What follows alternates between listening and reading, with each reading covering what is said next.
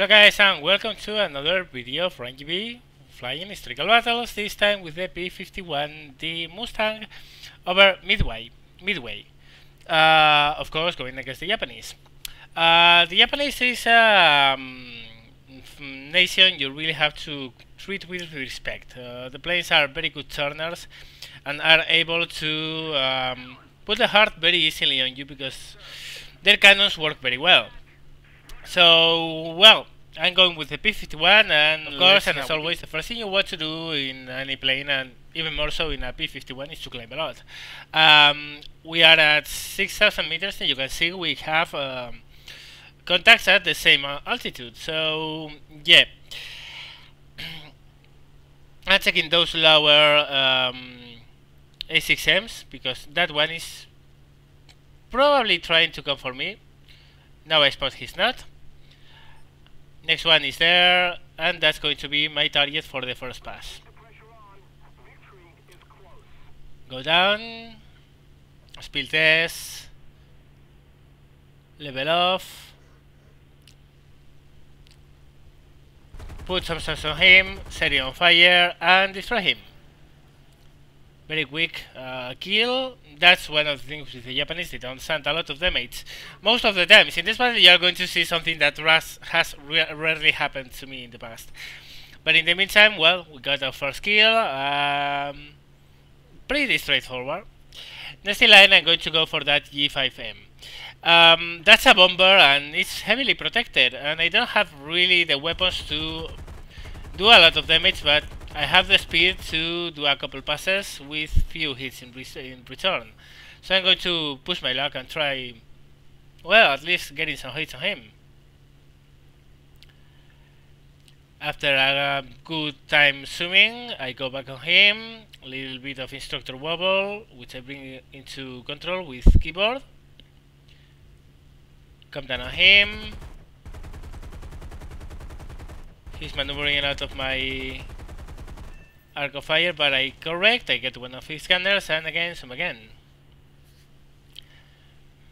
but I recognize this is going to take a lot of time and a lot of my ammunition, and in this map, land planes have it very complicated to to reload, because carriers um, are not exactly the best place to land a P-51 in. Um, so well, my plan is to do a one last pass and then start focusing on fighters.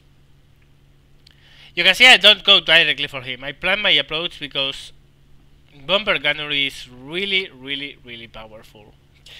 You can see here, I have a better shot now. The gunners are not going to be so much, so much such a, of a problem, but I get not a single hit on a plane the size of the Empire State. The Empire State. Uh -huh. Well, mm, this is the reason why I usually load tracers. Without them, it's very hard to track targets. I cross a zero, let him go away, no big problem, I can zoom easily. He's coming back my way, so I go straight in the vertical. And now he's diving. He's recognized my move and he's not going to be hanging on his prop when I come down. But no big deal. Bring my nose down, drag him.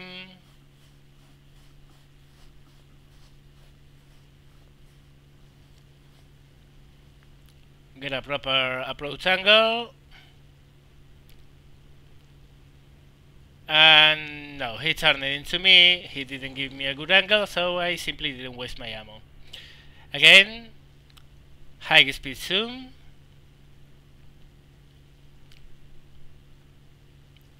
and just decide the moment where I'm going to come back.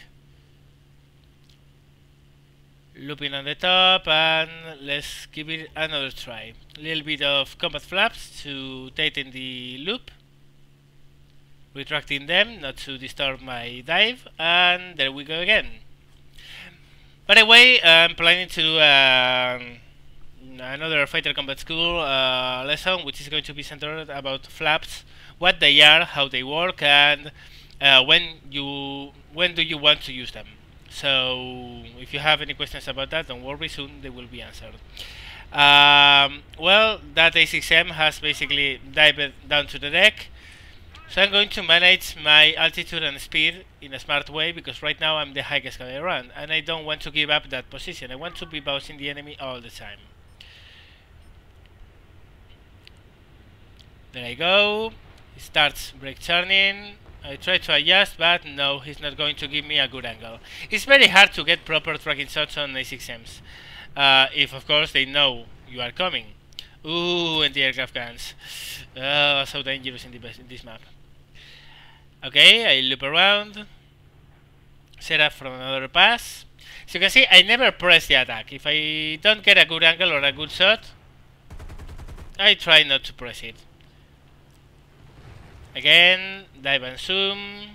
I attracted the attention of that other A6M, which is cool because he's so slow that he's never going to catch up with me, and he was being a problem for that uh, friendly we had there. Vertical move again.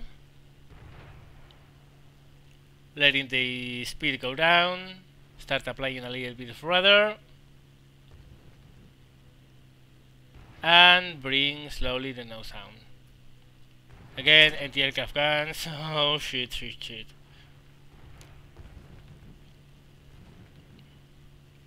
Checking around. I don't want to be surprised even when I know there's no enemies nearby. Just in case. Just in case. Maybe someone new has come and you didn't notice him. There we go. Now this guy is giving me a good angle. I put a very strong, uh, strong burst on him and set him on fire, but yeah, he's no longer on fire. It's the first time a zero um, doesn't burn to death on me. Oh well, bad luck. That P63 is in serious trouble, so instead of keeping my zoom to the end, I'm going to top it off and come down again to try to help him. Again, using a little bit of flaps to tighten my my climb, my loop. And you can see we are all on a very big disadvantage. We are only two left against quite a lot of them. A6M there is not giving me a good angle, that one either, so I'm not going to press it. Zooming. Or zooming. and now I can see easily that they are trying to go back home.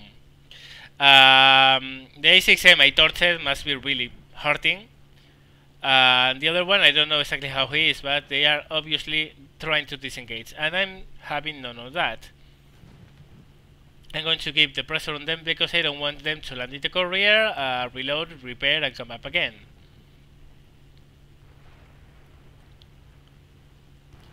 Use my diving ability to win a lot of speed, and then my weight to keep it up.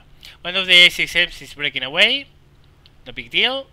I have the other one, which is starting to break down now. I predict his move. No. No hits. No need to press it. No need to enter a close turning contest. Because there's no, there's no sense in doing that against zeros. And again, use the zooming ability to set the proper uh, follow-up attack. That's going to be my target probably because um, is engaged with the P63. The other guy is uh, running back to the fleet. So I'm going to try to press the advantage of the numbers against this guy and to get some more hits. There I go. Properly shot, some hits, no luck. Both G5Ms have crashed, which is very good news because those were those would have been serious trouble to to to kill in a P51. Again, setting up a proper attack.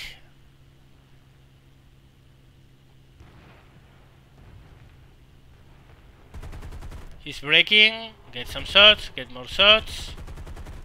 Sadly no kill, no no critical, but it's obvious to see that that guy has a left wing which is not exactly in the best shape. So I'm going to press my my advantage here. I have energy. He doesn't have the ability to maneuver properly. So I'm going to go come very close to him. Miss most of my shots. I really suck. More hits, but again nothing. No need to do a lot of zooming because the other guy is trying to land uh, his plane at the couriers and this guy is much lower in, in energy and he's damaged. So I can do a very fast follow-up. I set him on fire, I break off, thinking he's done. But what do you know? Another zero that doesn't burn to death on me. Really?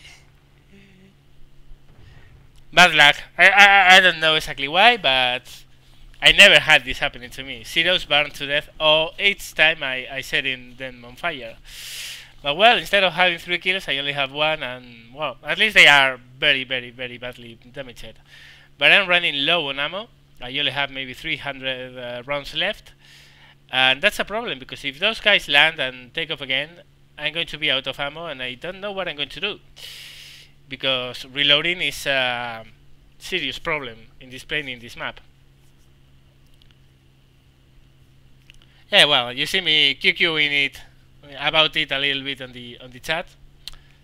It's never bad to let some pressure off because at this stage I was pretty pissed off. I mean, you, you can you have to understand that at this moment the game is on the balance. We can both win or lose, and both those guys should be dead because I set both of them on fire. But luck was against me. Nothing you can do against uh, against that. So yeah, those guys are trying to land. They are mm, over their fleet, and that's a very, very, very, very dangerous spot to be in because of the naval anti-aircraft guns. I spot they are going for the P63. I see the other one is not going to be a serious problem. I usually would go for the last guy first and then for the first. But in this particular case, the P63 is Luke. Oh, cool, I got the other guy. I'm shooting all my ammo. Get hit. I got him to break off. And my uh, other guy is, is alive yet, so that's good. But I'm I only have 80 rounds of 50 cans left. So yeah, that's bad. Um, the the thing here, well, what I was telling you that is that I usually would go for the last guy first and then for the first guy, because if you go for the first guy, the last guy can go and try to get you. And here I'm having a serious problem. You can see the little plane in the left. Anti-aircraft has probably gotten um, my engine, and I'm getting it red. So I'm spotting my chances here. There's a um, an um, how is it an airbase in in B in Midway.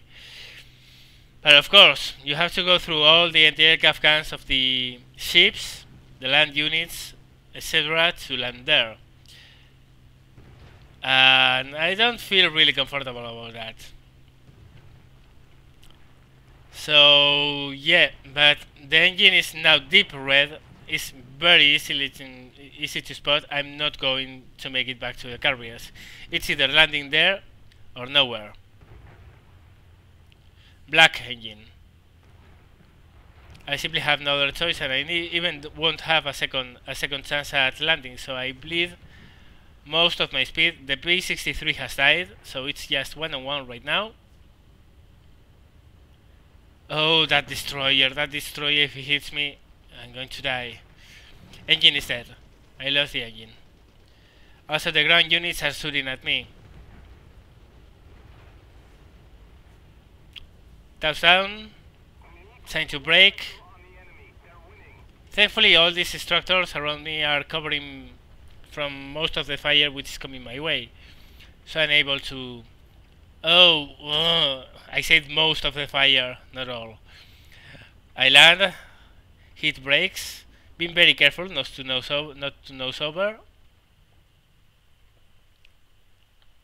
And stopped. And yeah, I'm repairing and reloading. So at least I won't die because of the engine damage. So, well, what happens now is that when I take off again, um, I well you'll spot this because I'm going to um, keep the video on until you spot this because it's also a lesson to learn. Uh, always climb away from the enemy. I know the enemy is in the carriers, okay? So I know they are to my left. He is to my left. So what I'm going to do is to take off, hope for no hits from the anti-aircraft uh, guns, and immediately assume a course away from the enemy carriers because I want to climb a little bit and build and build a little bit of energy before I actually go to the engaged side because you never know that guy might be coming his way. He was damaged, but you never know. If he catches you low on energy, he might end you. So or finish you. So what I do is to climb away from the engaged side and once I build enough altitude I'll go back and try to hunt him. But the thing here is that uh, the last remaining zero actually crashed on landing. I did get no kill, which sucks, but he crashed. So in the end, we won this battle. And uh, there's nothing else to show you about this, so let's go directly to the results page. So, well, battle's over, we won, and you're about to see the results of the battle. Uh, I still have gotten one more kill, but ah, well, whatever. Uh, anyway, guys, I hope you enjoyed. I hope you had fun. I hope you learned something. And as always, um, thank you very much for watching, and see you later.